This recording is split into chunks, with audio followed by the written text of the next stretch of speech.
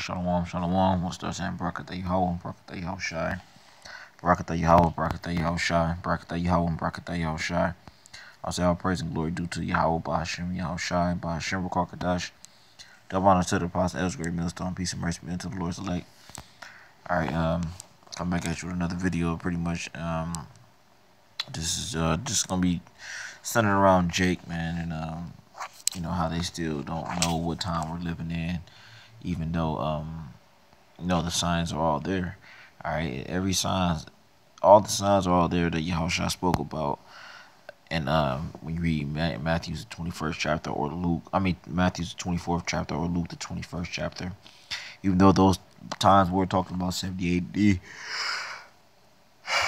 excuse me, but now those things are about to take place again on this on this go around you know, the earthquakes in diverse places, the uproars of people, you know, and um, the prophets being out there, and you know, and uh, you know, everything is just pretty much coming full circle. But Jake still don't realize, um, you know, that we're living in the last days. But um, let me let me let me just get this, man. This is Isaiah chapter one, verse two. It say, "Hear, O heavens, and give ear, O, o earth." For the Lord has spoken, I have nourished and brought up children, and they have rebelled against me, man. The Lord said he has nourished and brought up children, and they have rebelled against him, man. All right, because here it is, the Lord literally got our people up out of Egypt and you know help put us in a better um in better living circumstances and better living conditions and stuff like that. And just helped us overall, all right, uh, get you know live, liberated of our enemies, and um you know, Jake just takes all that for granted, man. That's why I said they rebelled against him. All right, and uh, it says, uh, Lucky, hold on. Man, lucky, yo. Gotta bring down that brightest. It says, um, the earth, it said the ox knoweth his owner, and the ass his master's crib. It says, but Israel doeth not know. My people do not consider, man. It said, the, uh, the ox knoweth his owner, and the ass is master's crib, man. The ass is master's crib. All right, both animals, both of those animals are uh, not the smartest, but they still know who their master is, man. They still know who feeds them and who takes care of them. But Israel, you know, you don't know, man. Jake does not know. They don't even uh, consider. They don't acknowledge their creator, man. All right, and um it says, verse 4, it says, Ah, a, a sinful nation. Excuse me. A people laden with iniquity. A seed of evildoers, children that will children children that are corrupters. They have forsaken the Lord. Man, these the scriptures these scriptures definitely come to life when you you know when you really start to see Jake and uh I know how they act, man. But um, bringing that fourth verse back, it said, "Ah, sinful nation, a people laden with iniquity, a seed of evildoers, man, children that are corrupters. They have forsaken the Lord. They have provoked the Holy One of Israel unto anger. All right, they are gone away backward, man. All right, they provoked the Lord unto anger, man. They have gone away backward. It says, why, why, why should we, why should ye be stricken anymore? You will revolt more and more the whole whole head is sick and the whole earth faint. Man. You said the whole head is sick and the whole whole um uh, the whole head. They said the whole head is it's like the whole head is sick and the whole heart faint, man. Because Jake is messed up, man. Like mentally, spiritually, and physically, um, because of the damage that Esau did to us as a whole, as a people. All right, dating all the way back to the time when you know, even during the time of the Roman Empire, man. All right just Esau just having his way with us, man. But um, it's just man, we we we just been broken down as a people, man, to the to the elderly all the way down to the children, and uh, starting to wear and tear on Jake, man. All right, but uh, says for the from the sole of the foot even unto the head, there was no soundness in it. Huh. Huh. Slack man, man. It says um but but wounds and bruises and purifying sores. It says uh, they they have have not been closed, neither bound up, neither um, mollified with ointment. Man, let me look up that word. Um, let me look up that word. Uh, you know, uh, yeah. can't even remember. I'm about to look it up.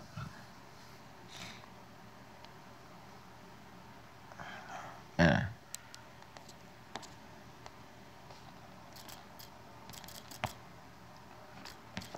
So yeah.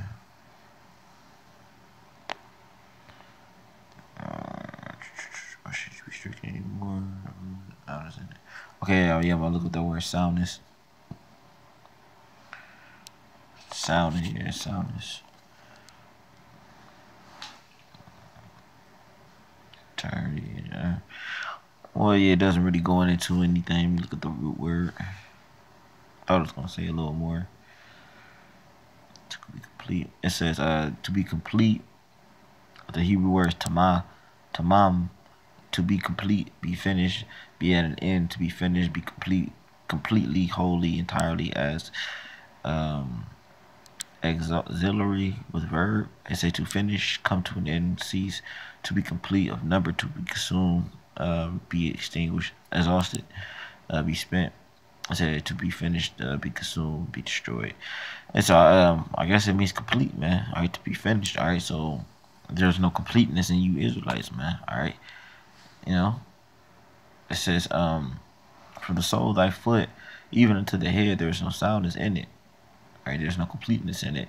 It said, but wounds and bruises and purifying sores, it said they are, they have not been closed, neither bound up, neither mollified with ointment.